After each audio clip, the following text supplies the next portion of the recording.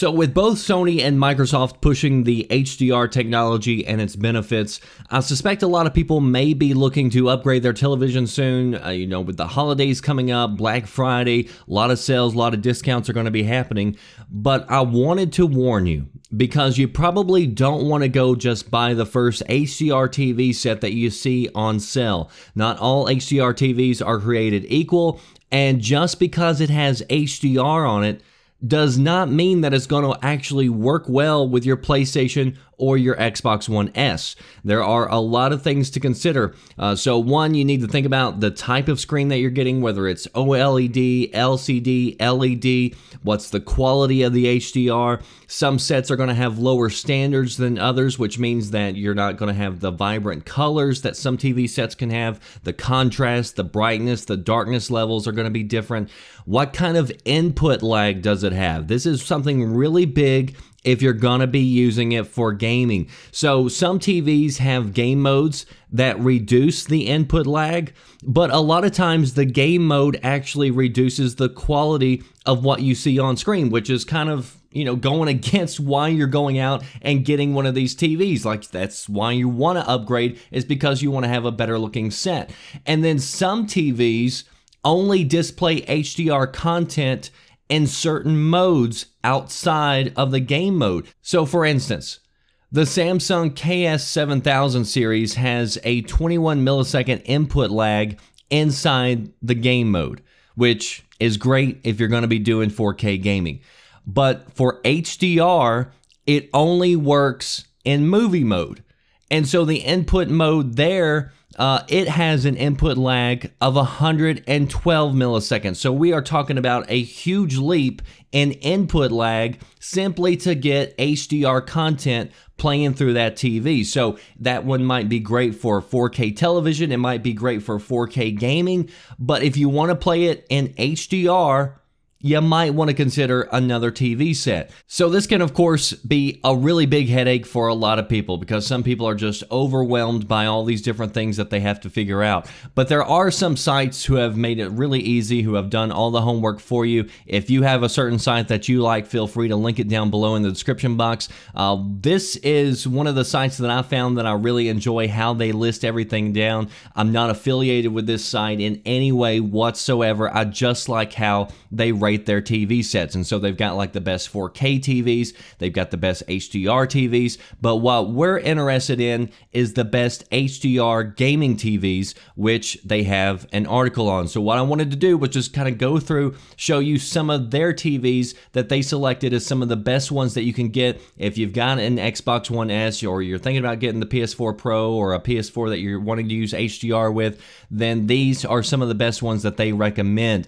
Not saying that, you know, if you get anyone besides these, you're going to be stuck with something that sucks. They're just saying these are some of the best ones that they reviewed. So we'll start off with the budget TVs and work our way up to the higher end ones. First up is the Samsung KU6300 series. Uh, it comes in a variety of different sizes, starting below $500 for a 40 inch, going all the way up to 70 inch.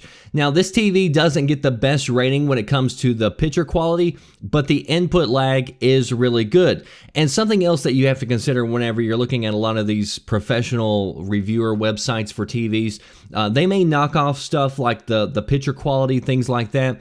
And you got to remember that these people are professionals. This is what they do for a living. So they're going over every little pixel with a fine tooth comb. My dad is one of those people who calibrate his TV. He tries to make everything absolutely perfect. We'll be trying to watch a movie and he's sitting there flipping between different things and options saying, you know, which one looks better. And I'm the guy who's like, half the time I can't even tell a difference. I'm just like, let's just watch the movie, you know? To me, the picture quality is great. And and so for that, you got to remember that some people are going to be a lot more picky when it comes to this. They're not saying that even whenever the picture quality is bad that it's absolutely horrible. It's just saying that compared to other TVs out there, you can get a better picture quality. But for most people, I doubt that they would even know the difference. You know, I doubt most people are going to look at this set, for instance, a brand new TV, and say this is ugly. Uh, so keep that in mind when we're talking about all these different reviews out there. Next up is the Sony X8000D series. This one comes in 43 and 49 inch displays. It is a bit more expensive. Uh, Amazon has this half off right now, 50% off, and it still comes in at $650. But for the price, the quality is better than the Samsung that we just mentioned. It has a wider color gamut, so you're going to see different colors that you're not able to produce on that previous TV that we had just walked over. And so the input lag is also low when playing games. So again, for a budget TV, this is one that you definitely probably want to look at. Uh, moving on to the higher end TVs, the Samsung KS 8000 series has gotten really good reviews. It's one of the lowest input lags you can get for a high end TV, and it comes in 49, 55, 60, and 65 inch screens. Amazon currently has this 30% off, but even for the 49 inch TV, you're looking at over a thousand dollars. Uh, and I mean, with the top of the line TV, you're gonna get better quality, but you're gonna pay for it as well. Uh, top of the line TV that they have, the one that they recommend the most, is the LG B6 series. This is an OLED screen, so that's going to be a lot better quality, but you're also, again, going to pay for it. This comes in 55 and 65 inch screens, and even though it's 43% off currently on Amazon, it's still over $2,000. Uh, the input lag also is a little bit higher than other TVs listed.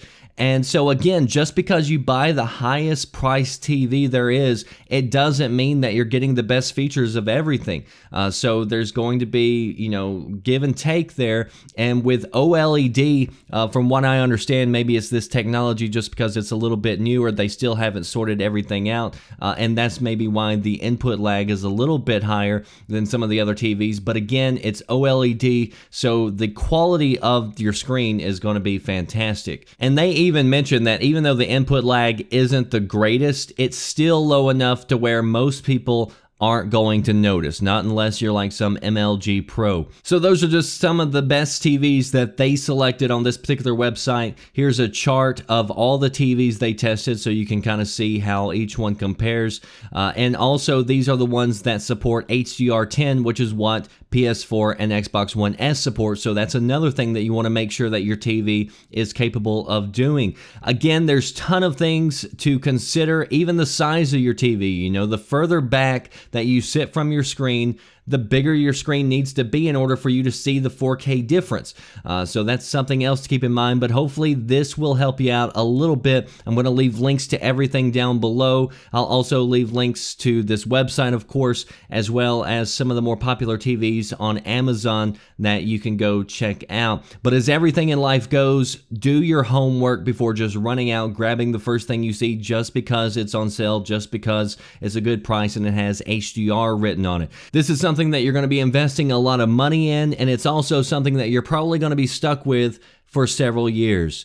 So post your thoughts down below. That does it for me, The Red Dragon.